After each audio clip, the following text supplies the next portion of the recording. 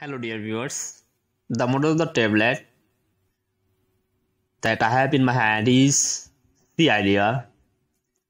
This tablet brand is Cidea. The problem with the tablet phone is that it does not show the percentage of charges in the battery.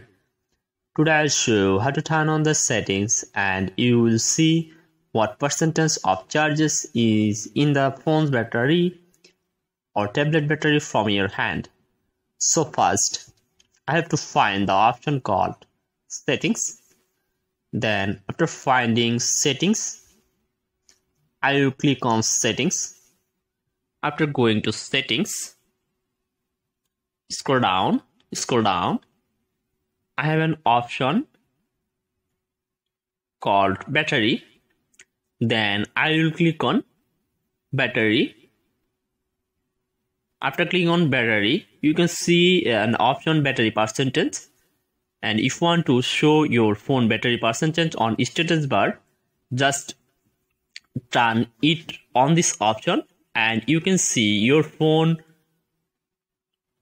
battery percentage show status bar on your phone or tablet display. So viewers if you want to like this video please subscribe my